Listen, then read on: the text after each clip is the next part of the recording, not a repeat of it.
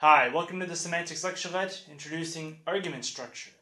The argument structure of a predicate is simply the nature of the arguments that it requires and its interaction with the syntax. And uh, of course, in this course, we'll be focusing on its semantic effects, but the syntax will never be far away. And we'll be using them uh, to learn about each other. So, when we talk about argument structure, we're going to focus on verbs Verbs aren't the only expressions with arguments, either in the semantics or the syntax.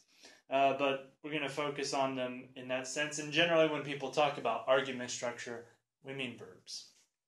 Now, verbs are um, easily classified. We've seen them classified for Aktionsart, for instance.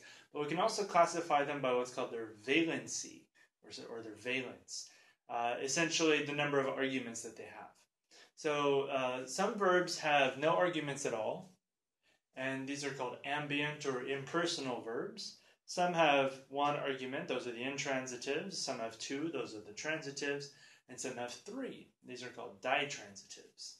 And um, you know, a lot of verbs are lexically selected uh, for transitivity, and uh, some are not.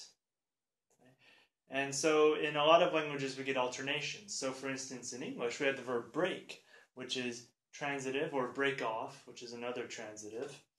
And uh, we can alternate that verb to have different versions that have different valences. So it's the transitive case, uh, Tom broke off a piece of the Kit Kat. Um, but we can have an intransitive version, a piece of the Kit Kat broke off. And we can also have a ditransitive version. Tom broke me off a piece of the Kit Kat. And so in English, we can get this alternation without any special difference in morphology. It's a zero alternation. But in a lot of languages, there is special morphology, sometimes to make the verb transitive and sometimes to make it intransitive. Excuse me. Um, there's also a wide variety of morph- morphemes that affect the valence. So a number of them add to the uh, add arguments, and a number of them remove arguments. So adding arguments, the most uh, well-known ones are causatives and applicatives. And causatives simply take an, uh, a verb and require an additional argument. So, uh, classic case from Turkish. If you say Ahmet öldü, this is Ahmet died. Straightforward. If we um, Oh, if we say Ahmeti öldürdü öldürdüm. Hmm. Here we've added the causative suffix, in this case dur, and this is first person singular now. So this would be I made Ahmed die.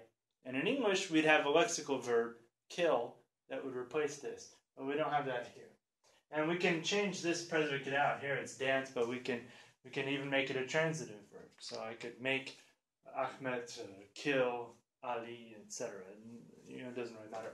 Um, but what matters is that this affix takes this intransitive verb, which takes one argument, and makes it a transitive. It can take a transitive and make it a ditransitive. Um, now, another good example is uh, the applicative. The applicative is was first uh, noticed in African languages, but it's been found all over the world. Great example is this one from Chichewa. Uh, the lion cooked beans. Pretty straightforward. Um, well, except for the silliness of the scenario, perhaps. Uh, unless perhaps it's a mythical scenario. But the lion cooked beans. But if we want to uh, add the lion cooked beans for the children, in English we'd use the prepositional phrase. But in Chichewa, uh, you add the applicative to the verb, and it makes the transitive a ditransitive by adding an oblique. And the applicative does that. It adds an oblique argument. The causative adds an extra agent. The applicative adds an oblique. So that's a, another example of valence adding morphology. There's also valence reducing morphology. And this morphology is typically called voice morphology. Classic example is the passive. The passive takes uh, a transitive and makes it intransitive by taking away its agent. So, um, you know, John killed uh, the banker um, can become the banker was killed. In a lot of languages, passives can be applied to intransitives, and it takes them from having one argument to having none, to being impersonal. Uh, there are other examples of voice morphology that we'll talk about later. Now, so we have valence, right? We have these different uh, concepts of valence. Different verbs will have different structures, and um, get reflected in different ways. A lot of languages have morphology on the nouns that ref- that interacts with this as well. The most obvious one is what's called ergativity. Ergative languages are those where the case marking varies based on the valence of the verb. So in English, or you know, in say uh, German or Latin languages you are probably familiar with, there is nominative case for subjects and accusative case for objects. And it doesn't matter what the valence of the verb is, nominative will be for subjects in a finite clause. But in an ergative absolutive language, it's different. So for if there if the verb has a subject and an object, then the subject will be marked with ergative and the what's called ergative, and the object will be marked with absolutive. But if there's just a subject and no object, so the intransitive, then the then the noun is marked the that single noun is marked with the absolutive, the same as the object case. So there's a distinction there that we don't get in you know, what are called nominative accusative languages.